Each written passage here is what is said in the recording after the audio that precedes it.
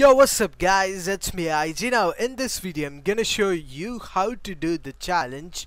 Well the challenge is you need to eliminate enemy players at named location. Now if you guys don't know what named locations are it's basically if you open the map um, the location where there's names. Uh, easy as that. So yeah uh, like literally you need to get eliminations uh, either in Sleepy Sound, Shifty Shaft, Cody, Lazy Lagoon, Sanctuary. Like you know what I mean, right? You just need to get eliminations where there are like names, names to the location. Uh, but yeah, I'm not talking about like the landmarks. Landmarks are different uh, to name location.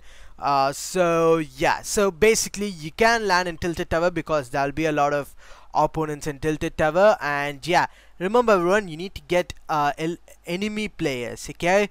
So but in this video obviously I'm not gonna show you guys how to get eliminations because that's the whole game. Uh, this is just me explaining explaining you guys like how it is done. So yeah these are the name location land over here. And uh, you know for the sake of you know doing the challenge I'll try to eliminate the NPC I don't know where the NPCs are but you guys need to do this on opponent okay? Remember you need to do this challenge on opponent not NPCs remember that okay?